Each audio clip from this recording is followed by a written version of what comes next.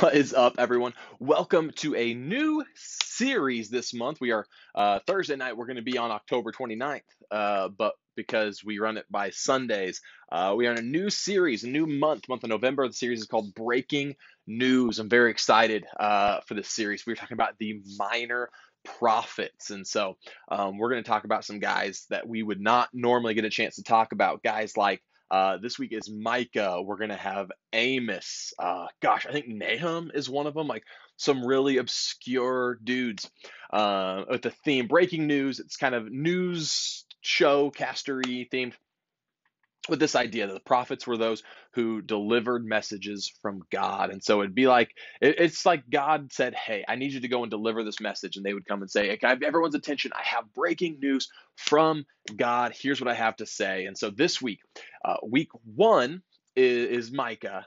And the big idea is that when things go wrong, I can choose what's right. And so Micah's basic message is this God is going, Hey, get it together. Uh, you guys are not following me. You're not doing what you're supposed to be doing. And he sends Micah to just deliver that message to them. It's really straightforward. Like, hey, you're starting to fall away. I want to help you correct this before it gets too late. And so um, we're gonna we're gonna have some fun in the opener with some hilarious headlines. That's the name of the game.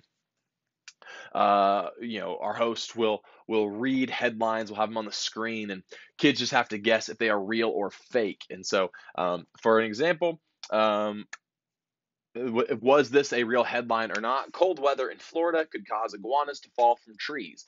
Is that a real thing that was ever used as a headline on the news?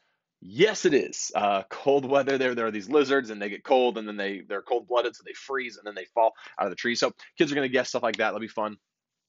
Um, we have a new memory verse, 1 Corinthians 16 13, uh, and it goes like this Be on your guard, stand firm in the faith, be courageous, be strong. So um, we'll throw some motions together for the kids for that. It's just four short phrases. So we'll do a motion for each phrase. Uh, we'll have our worship song, Chasing Me. We'll have our story, um, which again is less story because it's more of just like a message.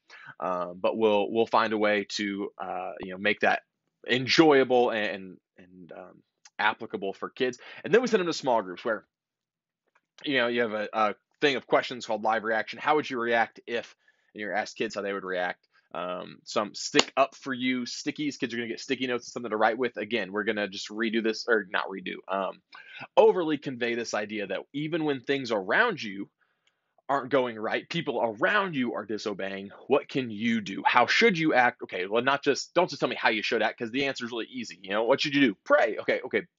Pray about what? You know, read your Bible. Read what in your Bible? How should you act? Nice. How? You know, like those, these are things we want kids to, to do. Um, they get these these same answers every time, and that's great. They, yes, th- that is the right answer, but I want you to tell me more. Um, for the memory verse, we have memory mirrors where kids will um, stand face to face and they will say the verses and they'll try and do the motions at the same time and they can even add their own motions for that particular game if they would like. Um, and then there is a prayer uh, for you to just you know you can you can literally read this prayer off the paper um, or you can use that as sort of your guideline. It's just a prayer that has to do with having us choose to do what's right even when those around us are doing wrong or even though that when the things around us are wrong. So um, that's the day. That's the week. Uh, and like I said, we'll, we'll be going through a different prophet every week. Um, just want to say I am back from vacation in Iowa. I had one person text me uh, while I was gone and said, "How long are you in Iowa, and are you taking the job that you're interviewing for?" Uh, and I laughed out loud because that is so many times people think that if you're from another place and you leave that you're just going on a job interview and i just want you to know i did not um, went and saw my family had a great time. Uh, came home to a furnace that wasn't working, to a car battery that was dead, and more trouble with my washing machine. So um, I, I came home on Monday, late Monday night, and then on Tuesday had all those things going wrong. And then um, so I'm just now really today getting like into all the stuff, and I'm moving desks today. I've been I this computer on a different desk, um, so I'm just I'm I'm all scatterbrained. But check this out. Um, this is something really cool I want to show you we have a new logo, which um, it's backwards to you, and I apologize for that. Uh, it's very simple. It's the V, that's the new VRL logo, and then it says VRL kids. And so um, we have new T-shirts that are being designed currently. Um, so soon I will be gathering uh, shirt sizes. Um, we also are uh, working on new name tags. This is the this is the test one that they made where um, you know kind of the same same general thing of uh, that's it'll be the logo. It'll say Valley Real Life. What we're looking towards is all name tags being identical and then having special lanyards. And so um, your name tag will just look, it won't say kids, it will just say Valley Real Life volunteer or Valley Real Life leader or whatever, you know, whatever they want them to say with your name. It'll have a kids, VRL kids lanyard. But that way, if you also are, uh, let's say you serve on the, the greeting team, uh, you know, you volunteer at eight and kids and you serve on the greeting team at 11, uh, wear the same name tag because it looks the same and it doesn't say kids it says valley real life. And then and then your lanyard will get custom lanyards um, for kidmin stuff. And uh, so that is that. Um, the other thing with this is that i'm currently in the process of i don't know where my oh i think they're in my backpack. I ran a report of every kid who came in january through march 15th um, and then the same report for kids who have been here since we reopened in July, uh, August for kids. Um, and then I cross reference them. So I have like seven pages of, of cards to write to kids to go, hey, guys, uh, I miss you.